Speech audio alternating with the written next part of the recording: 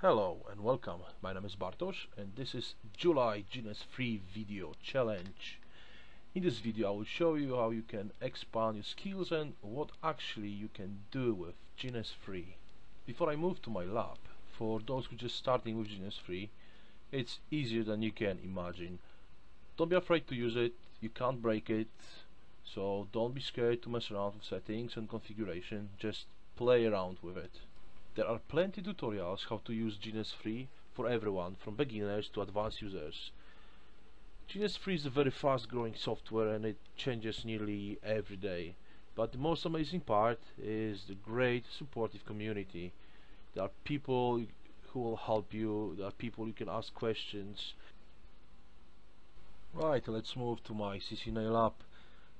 It's quite big, but it's very good for troubleshooting while I was uh, building this lab. I had few problems with routing, OSPF, EIGRP and some configuration but over time I managed to resolve it and everything works perfectly fine. Quick hint to everyone listening, with this size lab you can make very simple mistakes. Um, for example, connecting devices with wrong interfaces and believe me, sometimes it takes time until you find out it's not the actual configuration problem. Uh, in this lab you can go all over the places from one side of the topology to the other side. Uh, all devices are visible in the network and you can access them from everywhere. I've noticed many people are asking about the requirements for GNS3 and I can tell you from my experience that you can use GNS3 on almost anything I recently upgraded my computer to i7 16 gig of RAM and this enormous topology I use in my lab is working barely using resources of my computer. Um, so you can see here uh, the average is about 14 to 18 percent. Uh, at the moment it, it changes because I'm using recording software so it goes up and down but where when I would switch off the recording software it would come down to uh, 15 18 percent.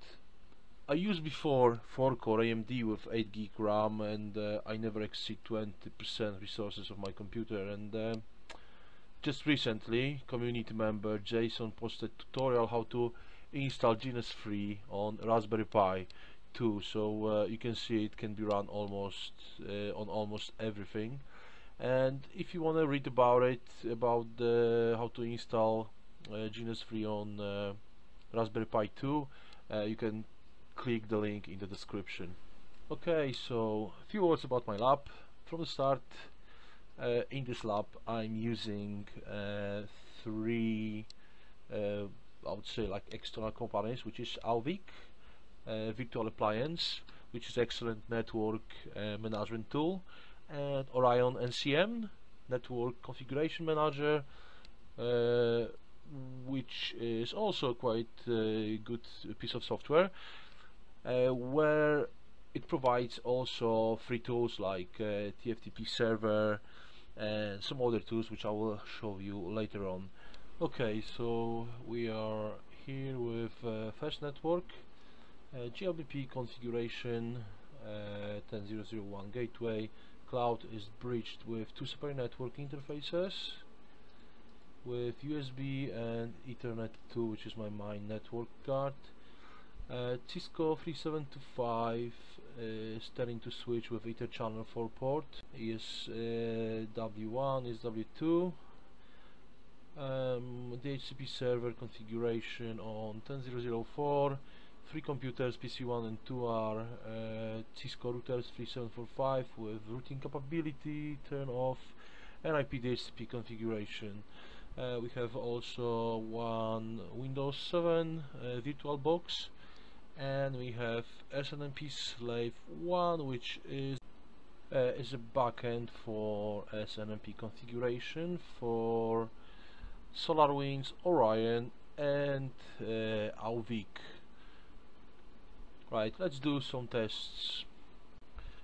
Okay, let's from uh, DHCP server 10004, let's do some uh, pings just to see how everything works. Let's go do trace route to 172.19941 which is completely on the other side of the network let me scroll it goes here to SNMP slave 1 and goes back to SNMP master and goes back to slave 4 goes to IPv6 R3 uh, Hurricane IPv6 link and it goes to router IPv6 uh, R2 to this IP address 172.99.41 as you can see it's successful. And let's do some ping maybe to 10.10.01 which is network below. 10.10.01 OSPF R3 R1 slave 2 goes back to uh, master. From master goes back to slave 1 and goes here to the HCP server.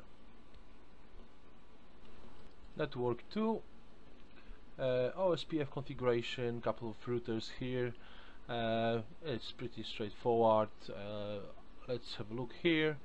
This is uh, OSPF R3 which is this one and this is the result of command show IP route also I did uh, ping to 172.99.41 which is the router we pinged before. Okay let's jump quickly to network 3 IPv6 configuration best way to get IPv6 uh, addresses is Hurricane Electric.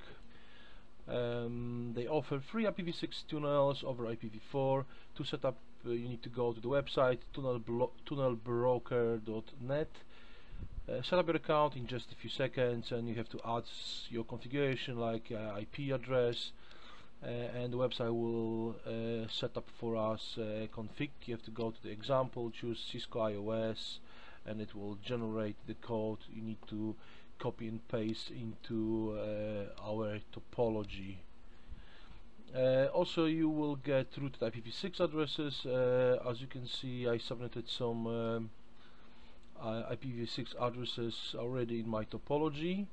Uh, all IPv6 addresses are reachable from internet to inside network.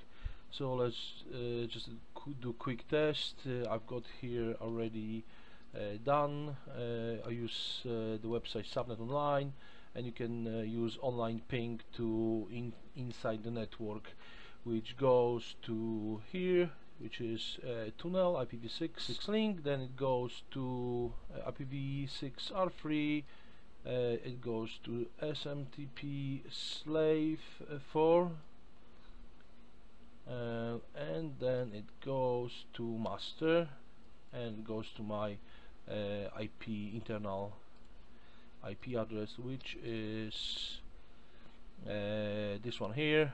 And this is a loopback interface on my oh no actually it's USB network card uh, set up for both uh, IPv6 and IPv4 uh, as we're closing to 10 minutes uh, quickly jump to network 4 it is HSRP setup with 10.10.10.1 gateway, 2 IOU switches and 4 servers which are actually Cisco 3620 uh, with no routing capabilities uh, set up as PC manual IP address and default gateway 10.10.10.1 uh, cloud are connected to bridge uh, Ethernet uh, card connected straight to my DrayTek router which is my main router for my network uh, which assign IP over DHCP to R1 and R2 all devices are connected to internet and SNMP traffic is routed to SNMP slave 3 sending traffic to SNMP master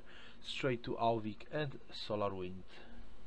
So this is my CCNA lab in very very short general lab configuration is IPv4 is based on OSPF routing, IPv6 is based on EIGRP routing protocol, frame relay point to point with OSPF TFTP based on SolarWinds free toolset and Orion network configuration as well with uh, Auvik virtual appliance. Unfortunately 10 minutes is not enough to present this enormous topology. Please feel free to contact me if you have any more questions. I hope you enjoyed this video and I would like to thank you for viewing.